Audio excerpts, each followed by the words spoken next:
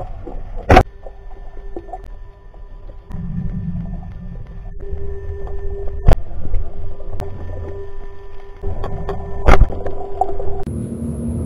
isang mapagpalang hapon naman muli sa ating lahat mga ka-adventures. Mamamana tayo. Bali, ngayong pagkadilim lang, tsaka lang ako lulusong.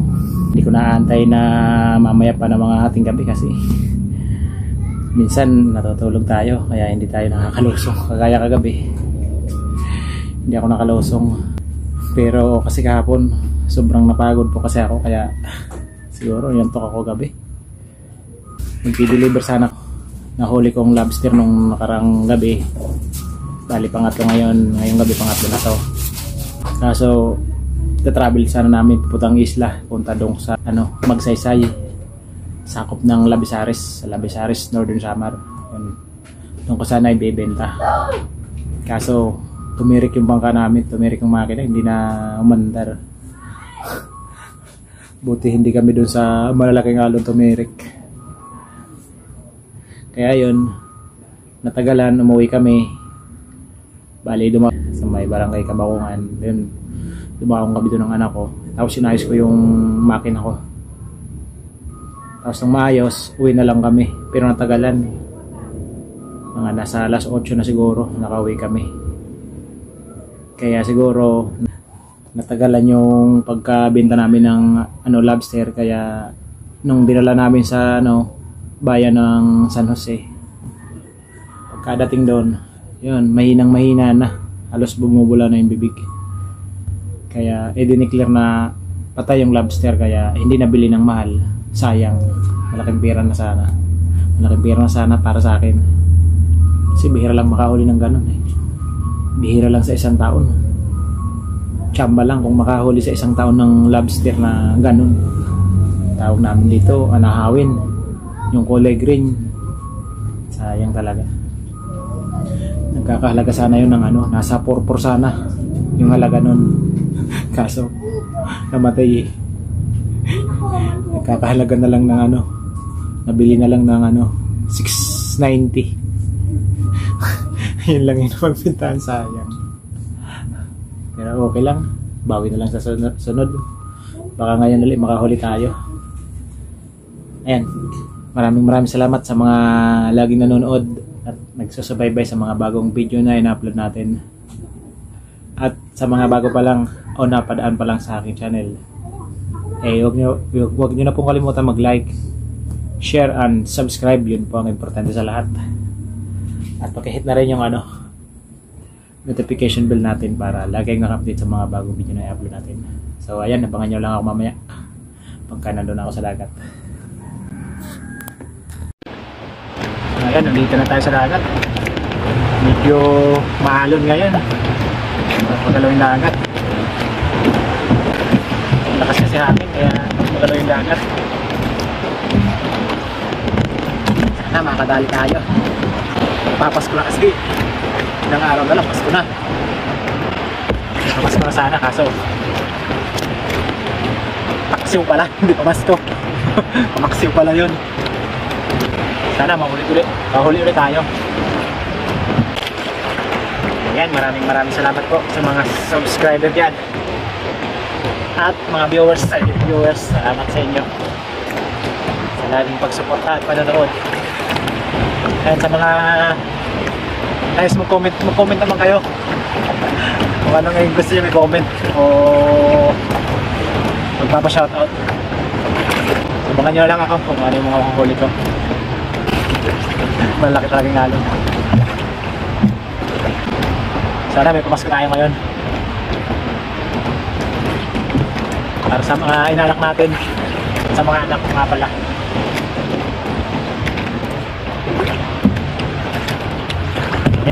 pala yan, nakadyo na ako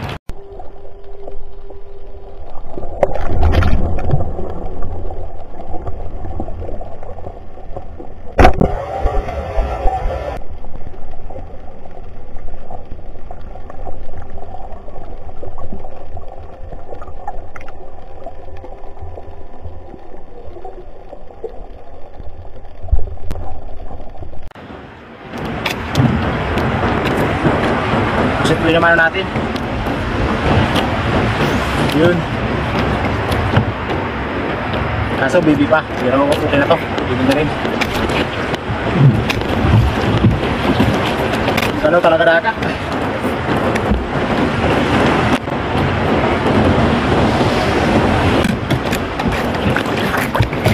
Yun, hanap tayo.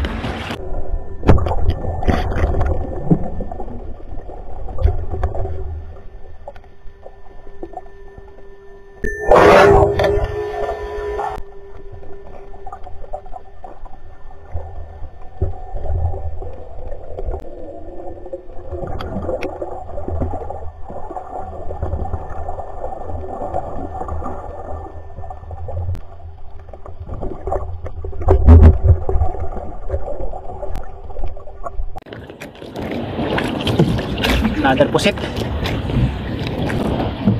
Ayun.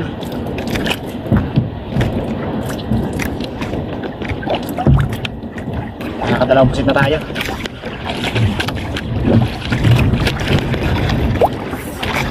Kaso mahangin. Bawat sisid ko, pagkahon, malayo na yung bangka. Tinatangin ng hangin.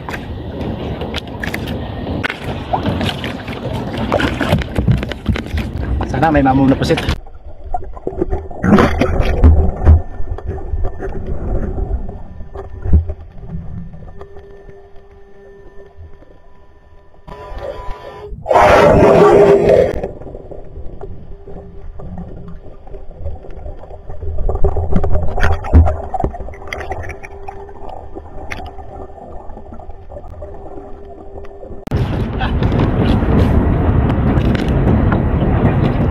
Lalo yung hangin. Yan, talagang bukit naman ng hole natin.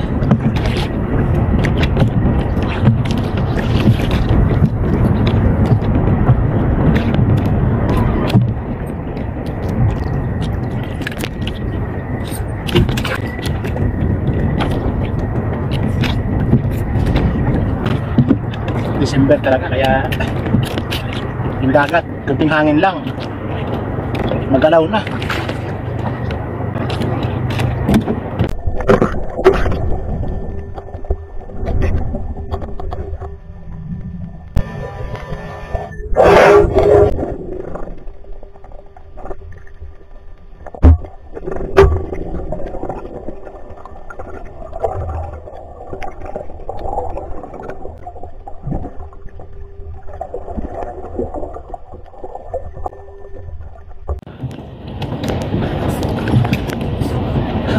Ang bukid, ang lalaki. Ang lalaki ng dalagang bukid. Ito muna yung pamanahin natin. Kasi ano, hindi pa ilap eh. Kaya ito muna yung papatusin natin para maka pinahuli tayo. Masarap to eh. Kahit anong loto, masarap.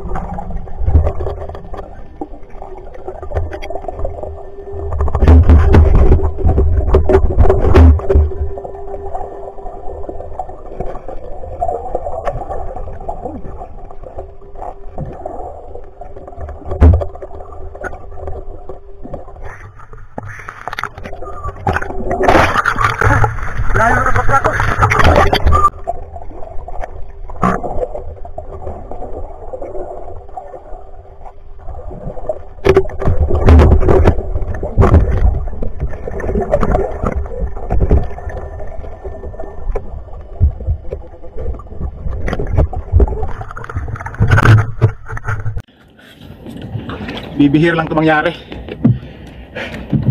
Dalawang cuttlefish, isang sisid.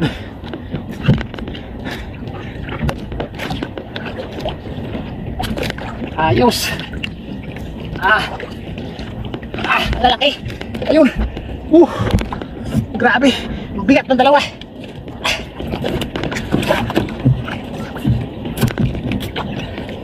Yun oh. Oh. Ang lalaki. Bibihira lang ito mangyari. Nasa isang sisi, dalawa. Uh, okay. Ayos.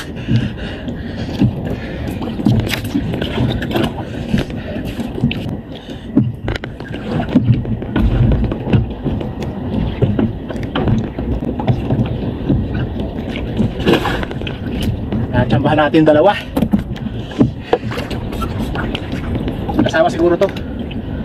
Kasi ano, parehas, ay lalaki at saka babae. Ito lalaki yung isa.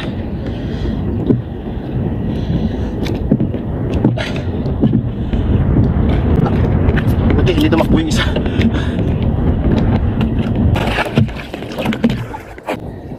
Bali kagabi, nakaapat na cuttlefish yung bunsong kapatid namin. Bali, tumitimbang ng ano, Mahigit 14 kilos yung apat sana may may, kasunod pa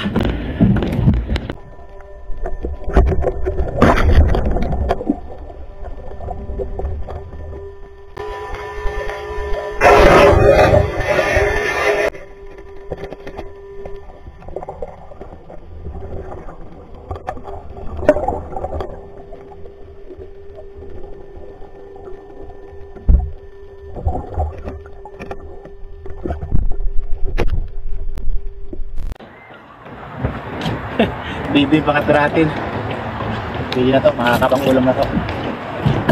Mas masarap kasi pag malis pa kasi hindi makunat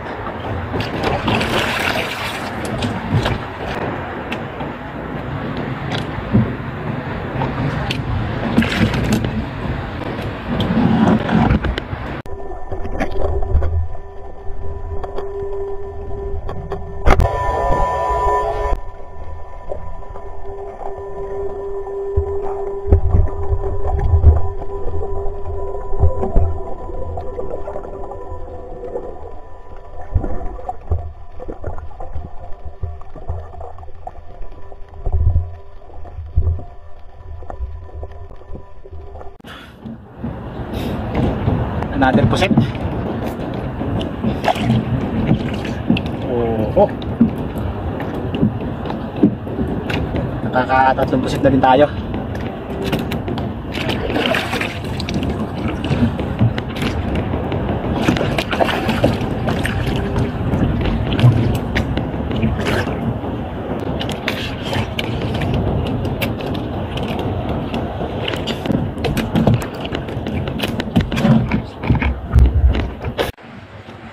Uwi na tayo.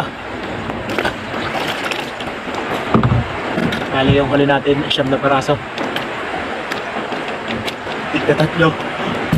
Tatlong dalagang bukid, tatlong pusit, saka, saka tatlong cuttlefish. Parang sinadya.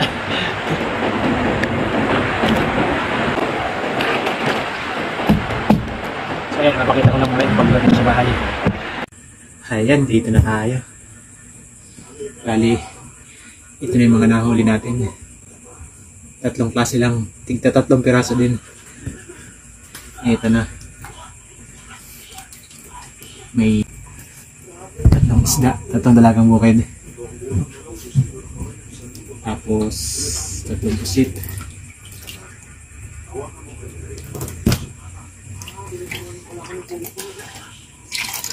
Yan. Tatlong pirasong pusit. Tapos ito, yung bihira lang mangyari. Dalawang cuttlefish, isang sisid.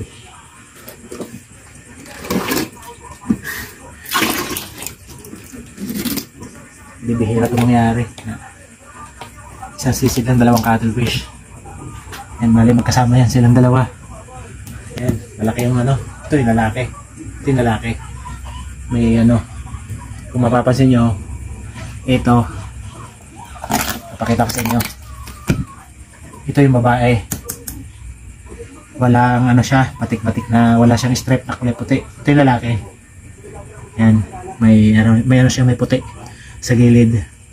Tapos yung ulo niya, yung galamay niya, yan may mga guhit na puti. Ayun. Yung babae wala. Ayan. Ayan yung babae. Magkaiba sila ng kulay, di ba? Dali itong pangatlo. Baby. Tapos, kilo yun natin. Ilang kilo. Bihira mangyari ito na dalawang cattle fish isang sisi. Unahin natin itong malaki. Ilang kilo yung malaki? Limang kilo. Bali, yung pagbili nito, sinasama lang yung pati yung bao sa may likuran. Kasi binibili din to eh.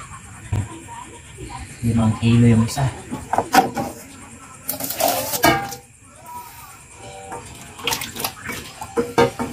Malit na konti.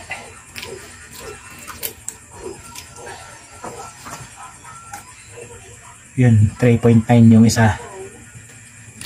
Dali yan. Ayan yung ibibenta natin. Bali, ilang kilo lahat?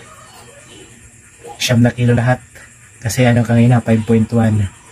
Isaktong apat na kilo na. Pag uh, dinagdag yung butal dito sa ano. Bali, siyam na kilo yung dalawa.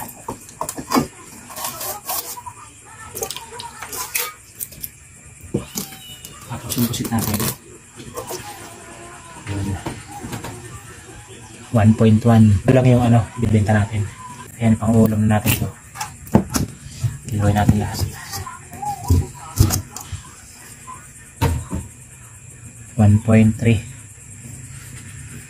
Sampu, labing isa. Higit.